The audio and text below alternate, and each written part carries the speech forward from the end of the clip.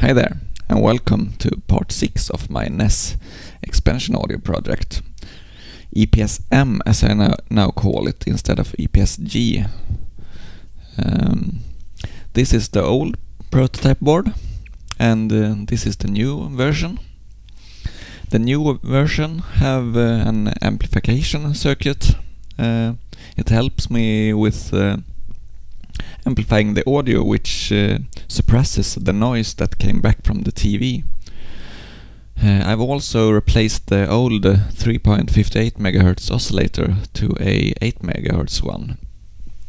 Um, and uh, I've also more or less finished the um, Famicom version, this one, with the, the game cartridge plugs in like this. It also have a slot for the board or addressing module. This is the easiest way for one specific way of addressing and I also got this one. This total mess but it works. Um, and it will plug in like this.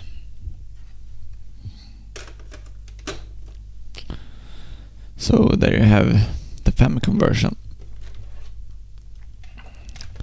Let's plug in the new one.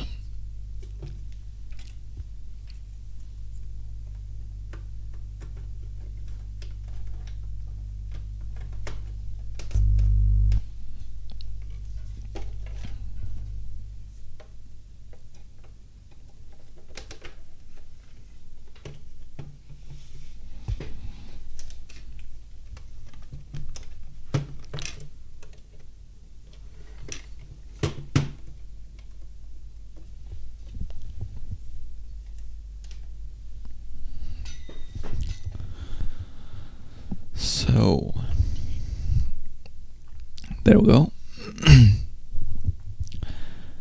Let's see if we get any audio.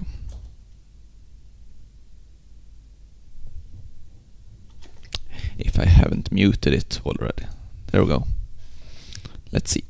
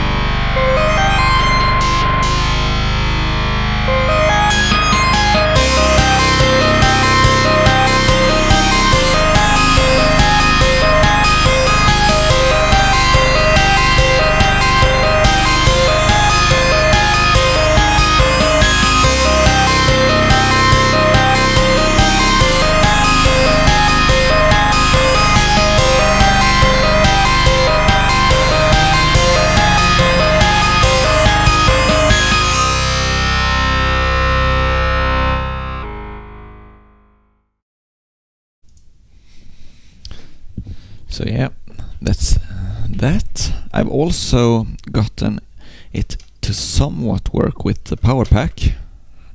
Been able to add addressing there.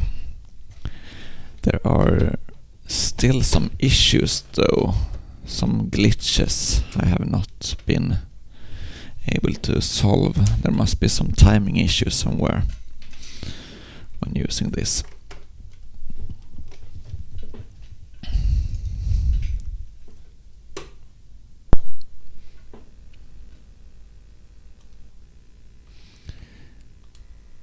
here I have a modified version of Gimmick that uses it.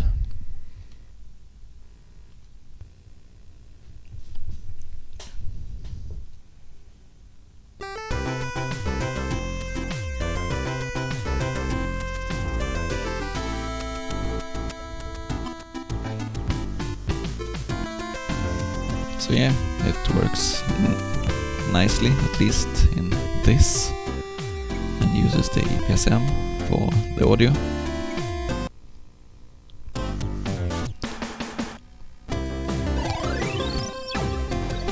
The all sound effects are on the EPSM in this game.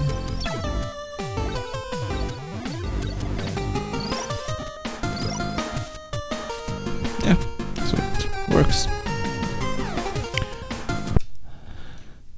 I've also been working on a modified version of FamiStudio that implements this to be able to actually make uh, music combining both the NES audio and the EPSM. But that's for another video. Thank you.